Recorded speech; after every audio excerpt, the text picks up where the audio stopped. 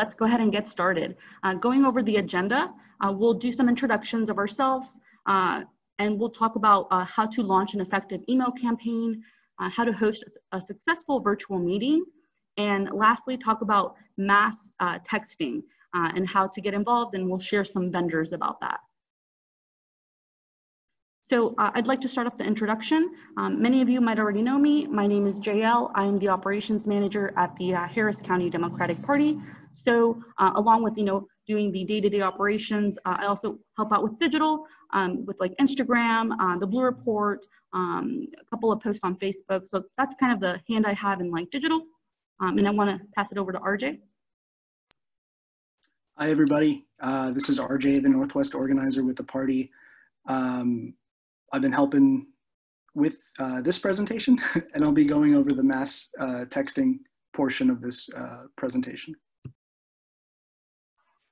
Uh, hi guys, my name is Ariel. I'm the Southwest and Asian American Pacific Islander Field Organizer. I've been helping with graphics, uh, the digital presentations, and um, Instagram content, and whenever is needed for the digital uh, team, as needed. Awesome. Thanks guys for the introductions. So real quick, we do want to recap. Uh, we did have a first session in these digital organizing uh, series.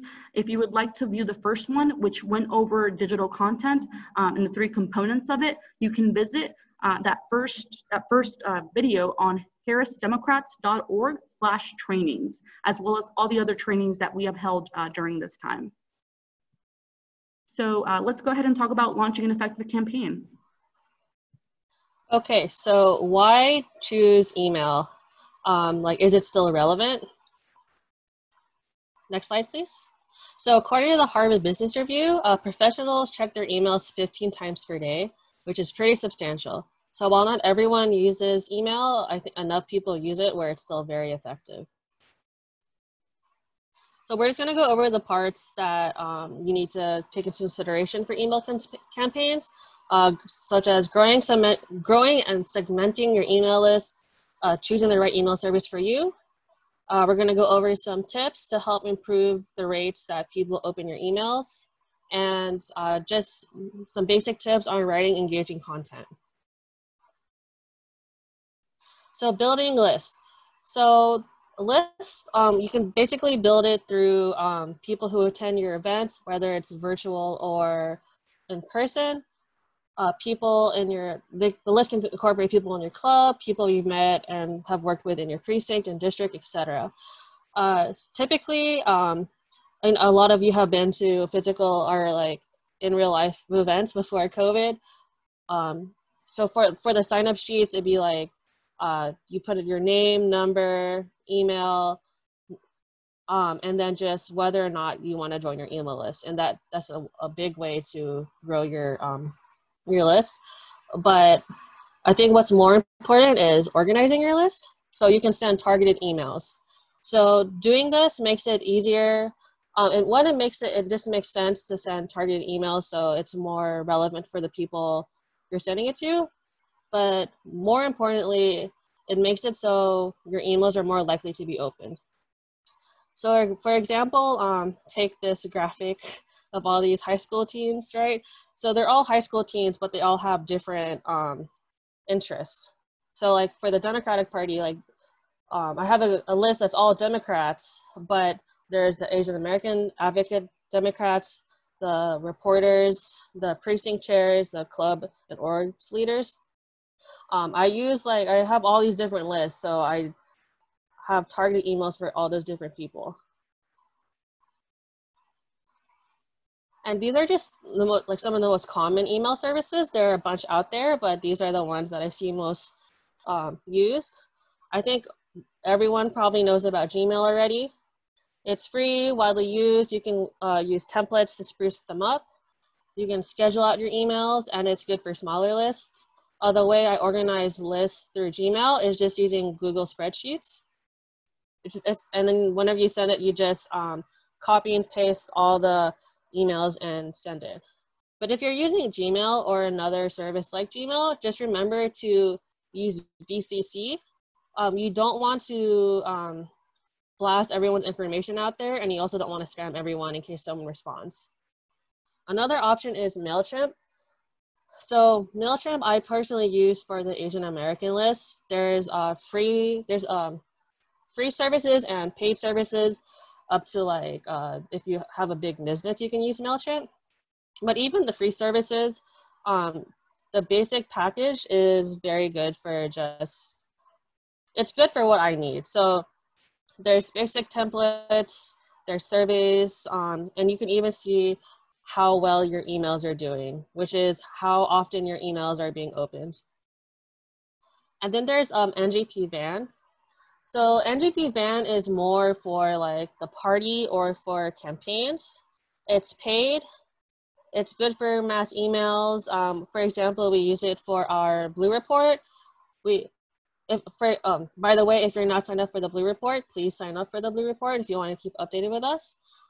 It's good for fundraising campaigns. Um, email fundraising is one of the best ways to fundraise. But again, it's recommended for bigger campaigns and organizations. I wouldn't necessarily use it if you are a precinct chair. I don't use it to send out emails. It's a little more cumbersome. Um, but that's just an option out there. So these are just some do's and don'ts to increase on the rates of how many times you're, sorry, to improve the open rates for emails. So do make sure the people in your list have opted in. Again, like you can send a bunch of people emails, but if they didn't agree to it, they can always just unsubscribe. You want to make sure that people actually want to receive your emails, and you can do that via sign in sheets or just like asking. Do you clean out your email list. Uh, sometimes when people fill out their emails on a sign up sheet, um, their handwriting is not so good, so you send out the right email. You just want to clean out all the emails that bounce back. You want to use friendly and personable language. You want to make sure your subject line stands out. You want to use a simple format. And what, about, what I mean by that is you don't want to use like three columns for an email. It's just not good for mobile. And on that note, you want to use a larger font and use a large call to action button for and that is because uh, it's just easier for mobile users to read and navigate. So don't, please don't use excessive salesy language.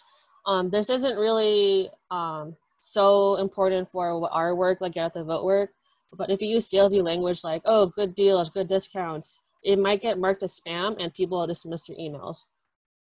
You don't want to write an email as if you're talking to a group of people. This is a mistake I used to make a lot um, because yes while you are sending a mass email acting as if like you're not talking to individual it's just going to turn people off so that's a lesson i had to learn. That's important to know. Don't use large Im- images that are difficult to load.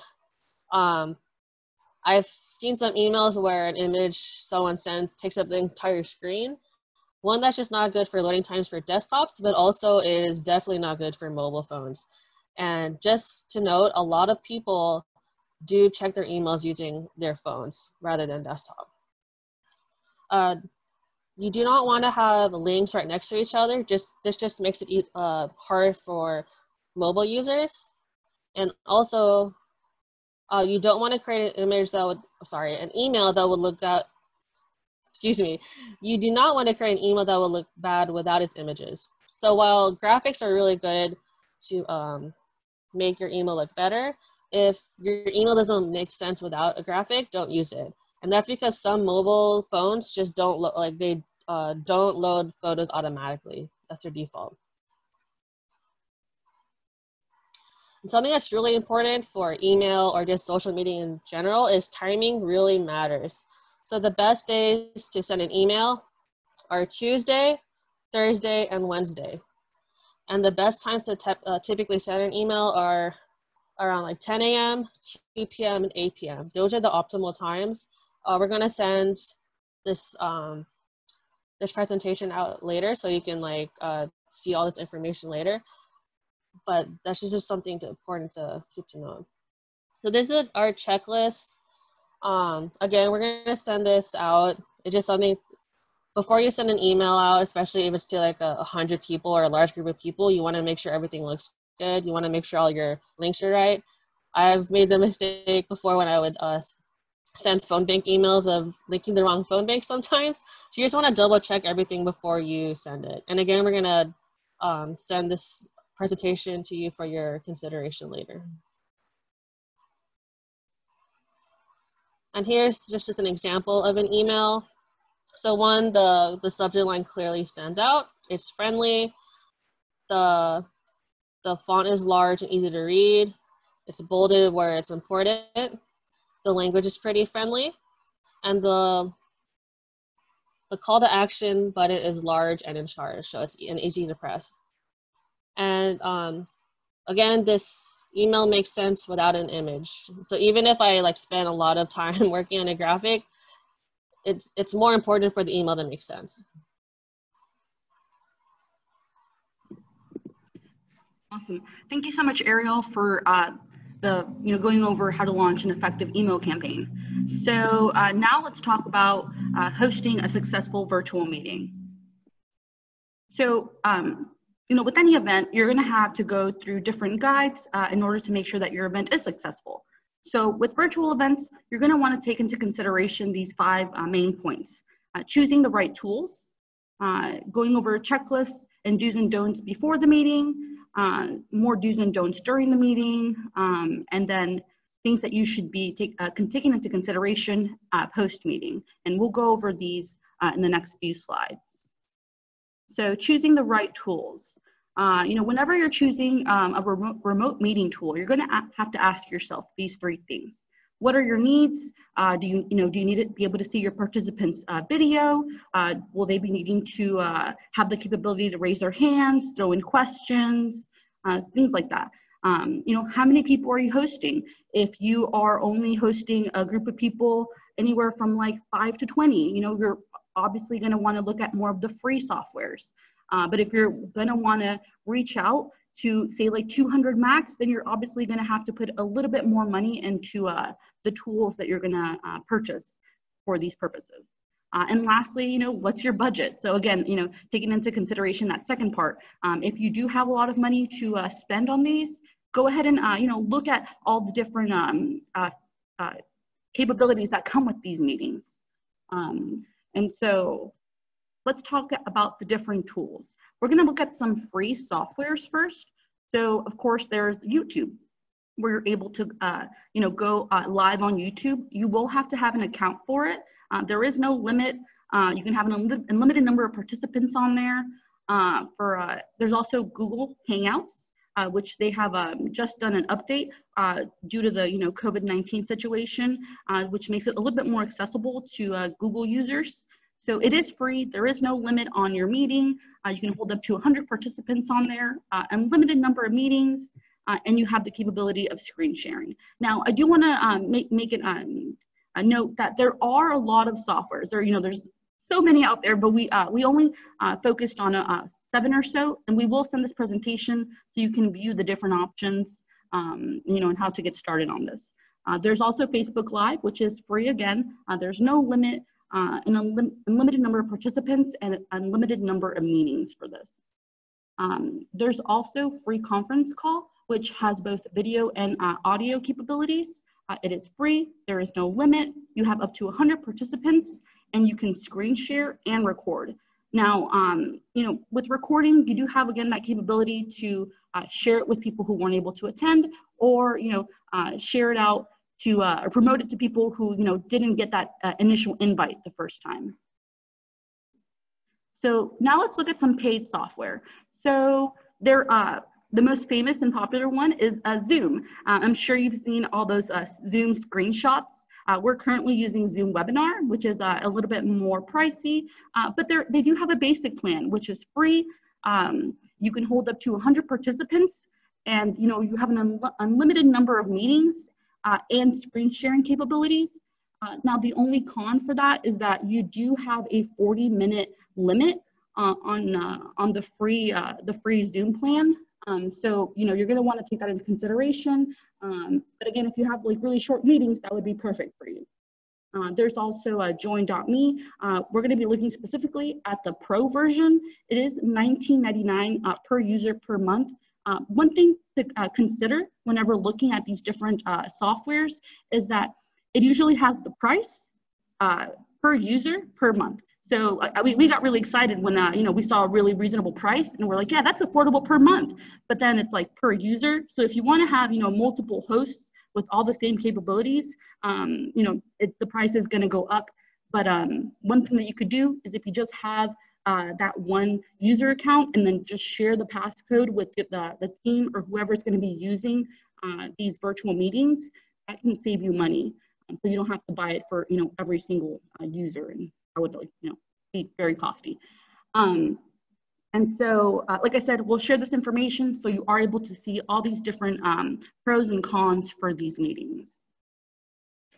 So before your meeting begins, right, you're gonna wanna uh, take into consideration these items. You're gonna wanna test your tech, confirm your uh, speakers and choose a topic, schedule a date, send out that invitation, and uh, schedule a dry run with your speakers or anybody who's participating in your virtual meetings.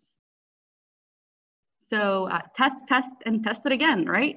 Uh, with, with anything, especially with technology, uh, things are bound to go wrong sometimes. So, you know, nothing kills the momentum um, at the beginning of a meeting um, like, a, like a long wait time. So, you know, whether it's like downloading the software, making sure that your uh, participants and panelists have tested the video and the audio, um, making sure that you're able to screen share. I know it sounds super simple, uh, but when you actually, you know, get on the back end uh, and, and you're like uh, presenting to a crowd of like 200, um, you know, an accidental thing might happen and you might show a screen that you're not wanting, you know, you weren't intending to show. So definitely practice uh, and test your screen sharing capabilities um, uh, and as well as your Wi-Fi. Uh, so again, you know, with technology, everything, you know, is, is, is things are bound to happen, right? So you're going to want to test your, uh, the Wi-Fi of the location that you're at um, and make sure that if, you know, if it's not spotty or laggy, um, and you're going to want to do this, you know, as soon as you sign up for that, for that tool, uh, test it out, play with it, see what features you have, uh, and then test it out a week uh, or two um, before the event, and you know, do do an, uh, another one a day or two um, before the event just to make sure that you haven't missed anything and, you know, just to avoid anything going wrong during the meetings.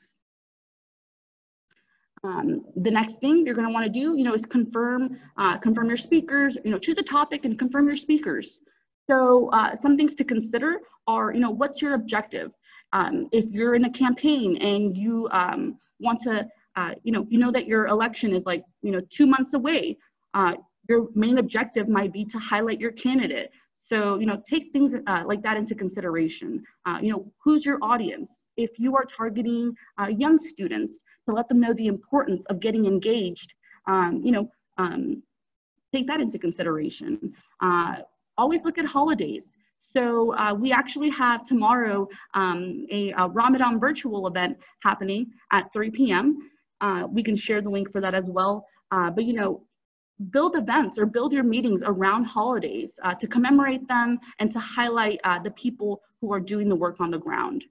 Um, and then uh, also a good thing to do is, you know, have multiple days for your speakers to choose. If you have a high level speaker who uh, you already know has a very busy schedule, you know, give them different dates so they can choose. Uh, but of course, you know, with, uh, with the situation and, and some of us going back to work, we all have different schedules. So it just benefits everybody to have different, uh, different dates to choose from. Um, the next thing you're gonna wanna do is, you know, uh, find the best date. So uh, it's always best to try to schedule it uh, as far in advance as you can because that gives you more time to promote, thus giving you a bigger audience. Uh, some things to consider, you know, again, who is gonna be your audience? If you are, again, trying to target uh, young folks who are, you know, uh, trying to express the importance of getting involved, um, make it on like an evening when you know they don't have like class, uh, or maybe on a weekend. Um, you know, think uh, or take into consideration, is it time sensitive? Um, if you, um, if the county judge has just issued a specific uh, order um, and you want to do just a meeting to your club members or to your, you know, your volunteers and, and friends, uh, you're going to want to do that a lot sooner than you would, say, a town hall for, um, for a candidate that has an election like five months out, right? Um, consider your speaker schedule. So uh, you know, going back to just giving them multiple uh, dates and times to consider. Um, if you know, again, if they're like a very high level elected official, um, you know, see if uh, if they're like in um, in session during during the morning, and then so instead make make the event uh, towards the afternoon or the evening. Also consider holidays um, because you you know one, one of the worst things that you want uh, you want to avoid is having a meeting uh, during a big holiday and your meeting has nothing to do with the holiday, right? Um, it, it, it's a little bit, you know, sometimes disrespectful, um, but also, you know, you don't want to take away um, uh, audience members from, from that holiday to come to your meeting that has nothing to do with it, right? Uh, next thing is you want to send out that meeting invitation. So uh, publish it, right? Uh, you want to first create your sign up tool. So whether it's Mobilize America, uh, a Google form or Sign Up Genius. And again, there are, you know, there's many different uh, sign up platforms, but just choose one that works for you. And we can send out some, uh, some different uh, options after, after this meeting and the follow up. Um, you know, and once you have that sign up ready to go, publish it on all forms of social media that you can, Facebook, Instagram, Twitter. Uh, if you have a YouTube channel, go ahead and, you know, post a save the date video on there. Uh, send it out in an email blast to your, to your group. send it out in a text message and uh, we'll talk a little bit more about that in the next few slides.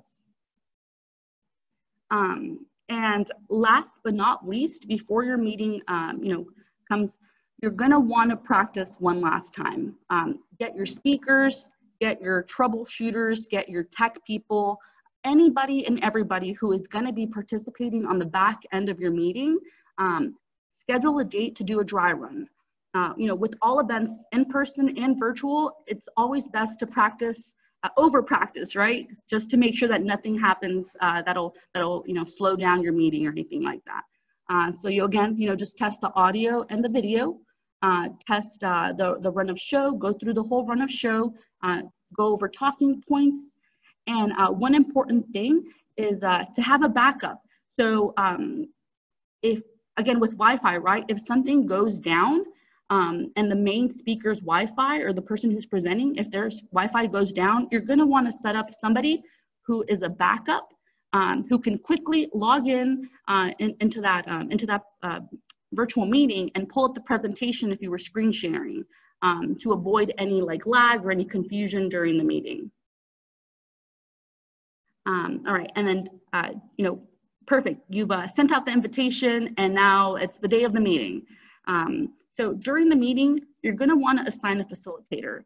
Uh, if you're gonna have more than you know two to three panelists or speakers, uh, you know, going uh, speaking during this presentation, um, it's best to assign a facilitator to, uh, to be able to transition from speaker to speaker, uh, who can facilitate questions, um, and anything else that falls in between.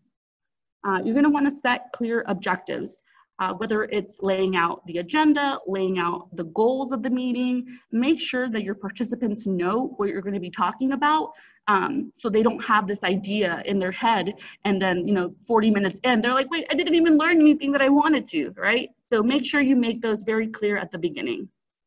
Um, include some icebreakers. So um, it's definitely a little harder to you know do icebreakers um, in, in, a virtual sense because you know people are talking over each other uh, instead of like an in-person event. Uh, but throw in some questions, do some polls like before the meeting. If you want to send out uh, send out an email with some quirky questions like you know uh, what's your favorite type of cake or you know uh, what brought you into uh, into politics. You know what moved you to get engaged. Um, and then just kind of reading out some of those icebreakers at the beginning of the meeting is a great idea. Um, you know, to get everybody comfortable with each other uh, and, you know, kick off the, a, a, really great meeting. Um, consider the duration. So if you set your meeting from 1 to 1.30, right, um, it's okay if like it goes over maybe a few minutes for questions and answers. Um, but if you go over like an additional 30 minutes or an hour, that is like totally unacceptable, right? Um, because you gotta you gotta respect people's time um, uh, and just make sure that you know you're not going over the time limit that you uh, initially set. Uh, and lastly, you know, make it visual and make it engaging. Um, because you know, with any meeting, in person and virtual, it's sometimes a little hard to keep up um, because you know your phone bings or you know you think about what you're going to eat for dinner. Um, so you know, definitely uh, make it uh, make it engaging. Put in some videos, um, and uh, try to try to make it as appealing as possible. Uh, and to elaborate a little bit more on making it visual uh, and engaging, um, you know, just like in an in-person meeting, you're gonna wanna engage with your audience. So uh, for Zoom, for example, you're gonna wanna utilize that hand, uh, raise hand feature.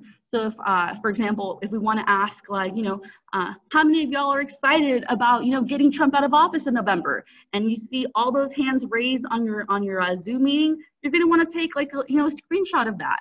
Um, just because again you are you always want to engage with your audience. Uh, include polls um, whether it's you're trying to get a feel of who you, who your audience is uh, or just trying to get some feedback from them during the meeting um, this is a great way to continue to engage with them and of course questions and answers uh, uh, whether you do questions and answers after each segment or questions and answers at the very end of your presentation. You know, whatever works best for you, we usually do it at the very end of the meeting. Um, and, and, with that, you know, we do also have a, a Q&A section uh, that you can throw in some questions there, and then we'll get to it at the end uh, and answer any questions that you have. So uh, let's look at some do's and don'ts. And again, we'll share this presentation. Um, you can read and take your time with this. Uh, you know, do be courteous to others who are participating in the meeting with you.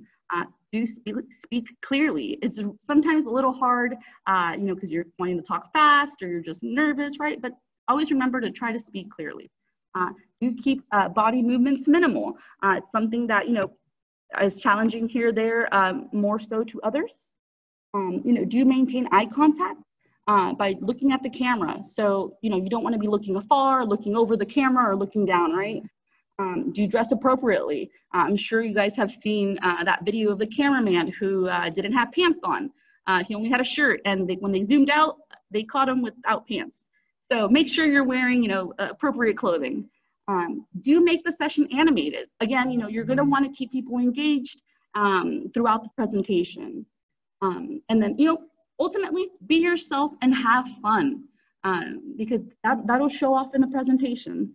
Um, some don'ts are, you know, don't make distracting sounds or movements. I'm sure if I started wailing my arms, it'd be like, you know, what is happening? Uh, you know, don't shout, uh, don't interrupt other speakers. You know, it's just to be courteous. Um, don't carry on side conversations. I know sometimes it's a little hard uh, getting used to doing like virtual meetings, like maybe your child or, you know, your family member approaches you, put, put your um, mic on mute and then you can have that conversation, right? Um, and uh, don't wear noisy jewelry. Um, so sometimes with different audio, uh, some sounds pick up uh, um, pick up um, a lot more than others. So if you have some dangly earrings that you know are a little bit noisy, maybe don't wear them for uh, for that specific meeting. Um, and don't cover the microphone. So especially, I think it's easier to do that on a phone uh, if you're speaking into it, right? But on the on the laptop too, you know, try not to cover your phone, uh, your microphone. Sorry.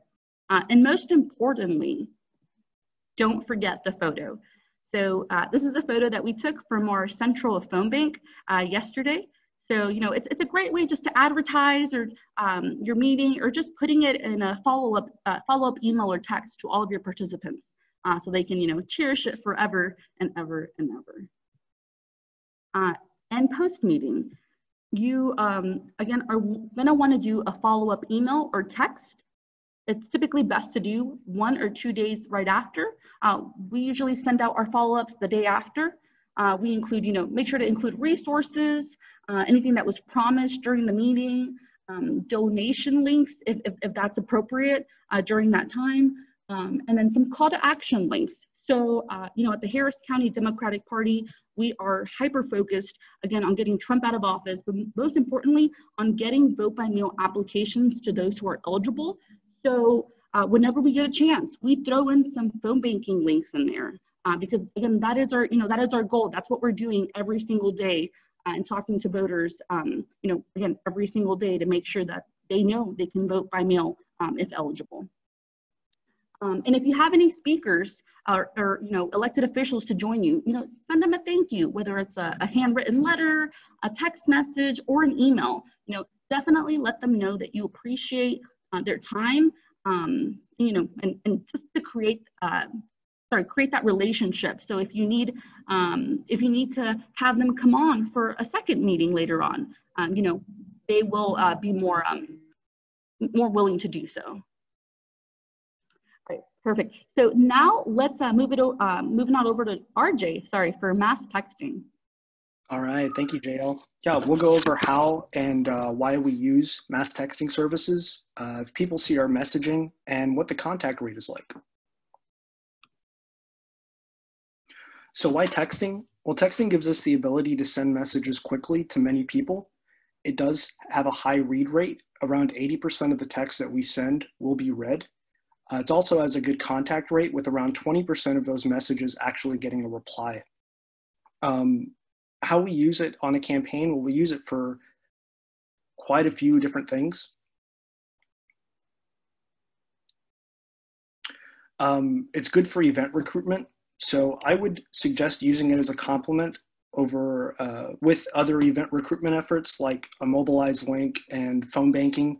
Um, you know, sometimes when you're making phone calls, you may uh, get a voicemail or you, you just want to make sure that that person actually receives that message for that event. Uh, so it's always good to send something additional like a text uh, or even an email. Um, you know, it's good to follow up with people to confirm if they've uh, signed up using the mobilize link and things like that. Uh, it's also good for identifying supporters and persuasion. Uh, you know, we ask our supporters to pledge to vote and people that you want to persuade to consider supporting your candidate it's also good with issues, just asking people which issues matter to them the most and getting the response from that text. Um, can also be used again as a complement with fundraising efforts. Um, so it's good for uh, quite a few things. Uh, when have we used it? So, yeah, uh, we use it primarily to get out the vote. In 2018, we were able to send 650,000 texts and also with uh, this past primary this year, we were able to send 200,000 texts. Uh, it's very effective at providing the location for people's polling places, uh, especially with young people that are constantly checking their phone and they read their texts. Um, we're able to ask people how they'll get to their polling place. Are they going to drive? Are they going to walk? You know, if they're going to take public transit, do they need a ride? Um, also asking people what time they are voting and uh, making sure that they have a plan to vote so we've used uh, quite a few different programs.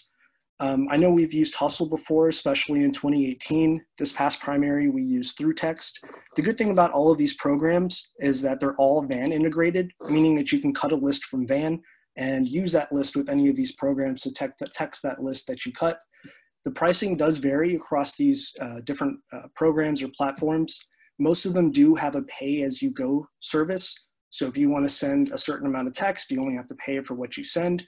It's really good just to do your research depending on what you want to use that for.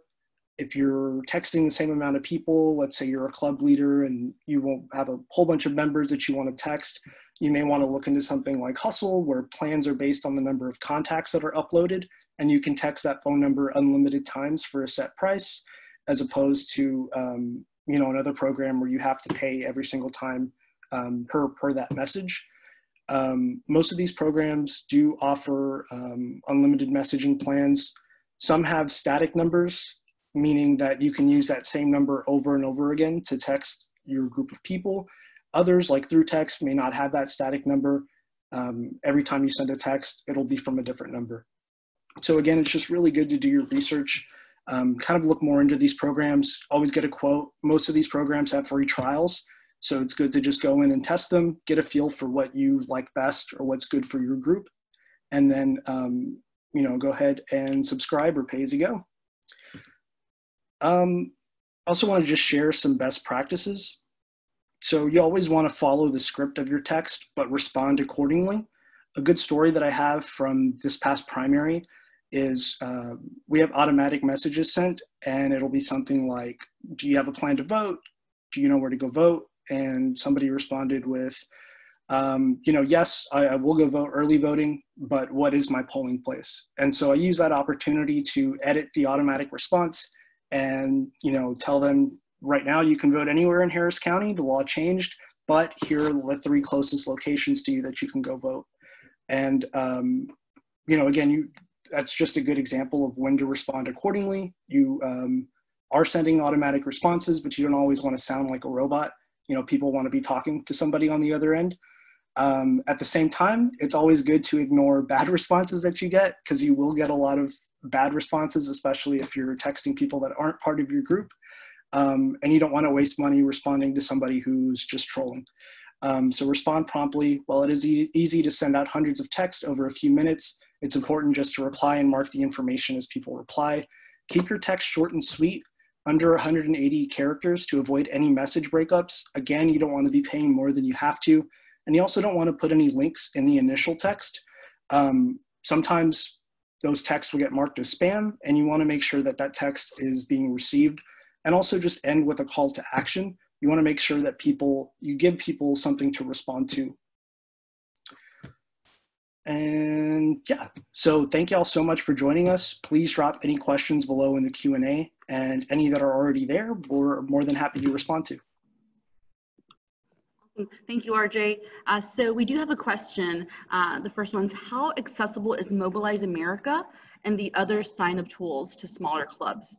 So for uh, smaller clubs, uh, the Harris County Democratic Party uh, does coordinate with them for Mobilize America. Uh, but let's see, it seems to be an anonymous attendee. Um, so I'm not too sure which club it is. Um, if you're still online, um, you mind just telling us which club it is and we'd be more than happy to, you know, connect with you. Um, and the uh, official clubs, the official Harris County Democratic Party clubs, do you get one Mobilize America uh, user login.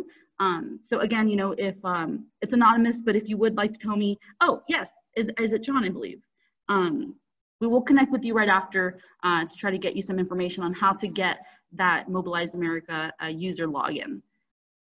Uh, let's see, next question. What's the most frequent issue you've had while using a video conference service to hold meetings? So I would like to say the biggest issue has been just connection on my end. Um, you know, there's definitely uh, testing it like the day before, uh, especially in like in my apartment. Um, if I'm like really far from the modem, um, it, it, definitely gets a lot laggier. For this situation or for this uh, webinar, I had to come to uh, our headquarters uh, just to ensure that we had a great quality network uh, and it wouldn't drop off or anything. Um, a couple of other issues that have been brought up are um, having, you know, extra security. Um, I know you probably have read articles about like Zoom bombers, um, you know, coming into a meeting and just like spamming. Um, we have not had any any of those problems occur, uh, but some best practices are, you know, to put uh, a meeting password on your um, on your meetings. Uh, make it registration only, so that way when people are signing up for your meetings, you can vet them. Uh, there's actually an option um, that um, you can only send uh, email I'm sorry, you can only send them the actual meeting link to folks uh, who you have vetted one by one. Um, so, you know, just uh, looking into those best practices um, to make sure that your meeting is secure uh, to avoid any any uh, you know any of those spammings happening. Uh, but like I said, we haven't had anything like that happen um, on our end. Um, and then, you know, just uh, trying to get the best timing for folks. Uh, it's a little bit of a weird transition right now um, where a couple of weeks ago, uh, people were at home, uh, you know, every day. Uh, but now with the uh, businesses opening up, we are again in a bit of a transition where some folks are working and some folks are still at home.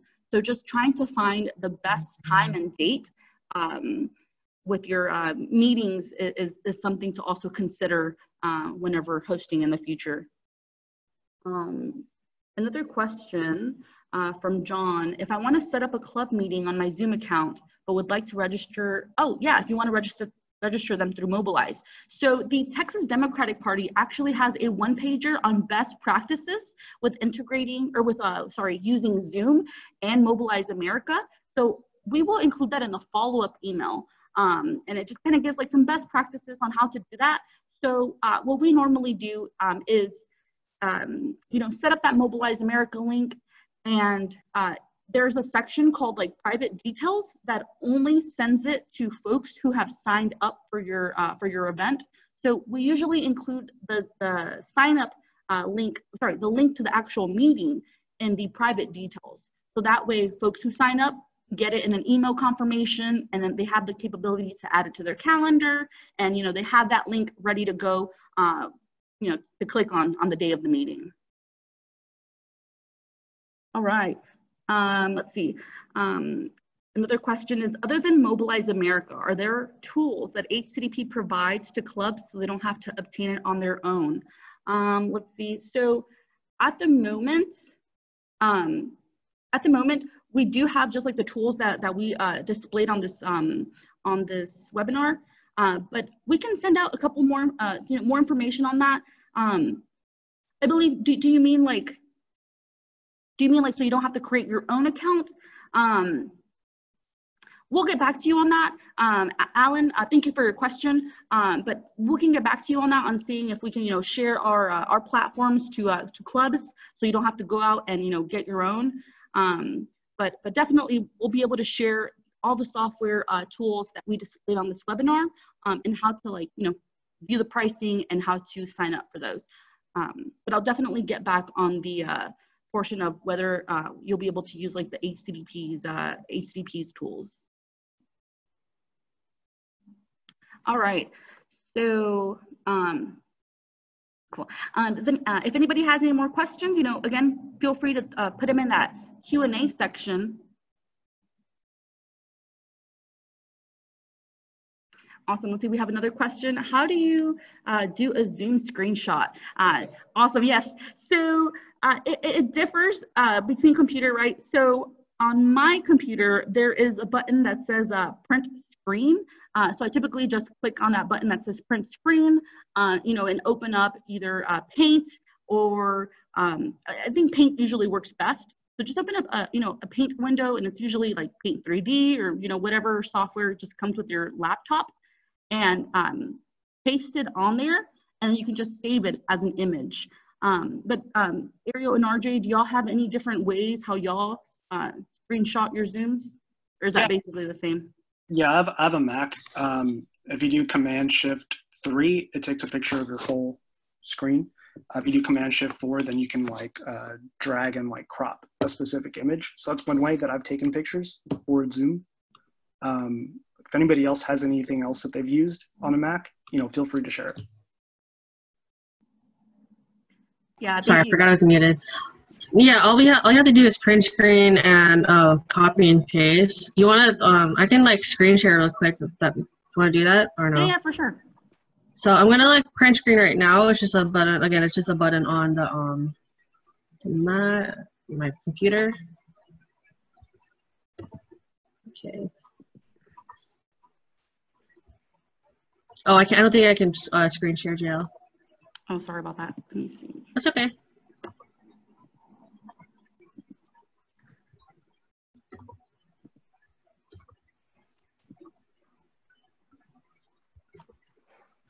Oops. So that's, a, sorry, that's another one. So all I did was uh, copy and paste from the print screen. Wait, can you see my screen, Jill? Mm-hmm. Yep. And then all you have to do is crop it the way you want it to crops like that. And then just save the image. So it'll be like screen share, or no, like zoom screenshot. That's all. It's pretty simple. Yeah. Thank you, Ariel. And yeah, and we can we can send a, a, a little bit of um you know step by step uh, write up and the follow up email too, uh, specifically for screenshots. So I know it's a little bit challenging sometimes when it comes to uh you know different uh, Macs or you know Microsoft. So, uh, but thank you so much, guys, for answering those. Mm, let's see, we do have a couple.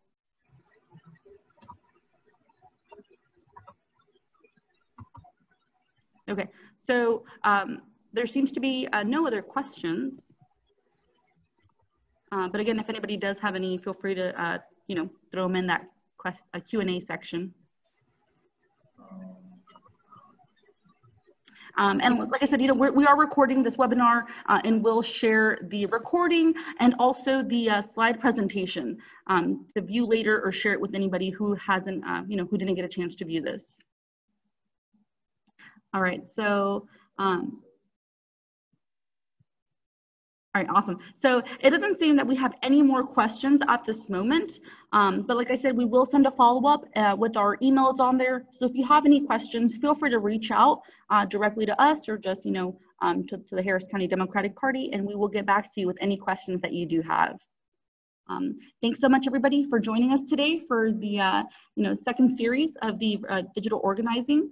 Um, and I hope you ha guys have a great rest of your day. Thank you. Bye, y'all.